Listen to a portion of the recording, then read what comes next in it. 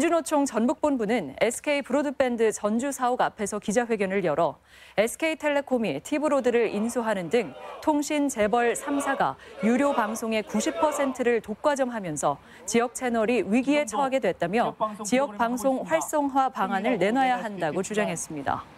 또 지역 케이블 방송 하청업체 노동자들의 고용을 승계해야 한다고 촉구했습니다.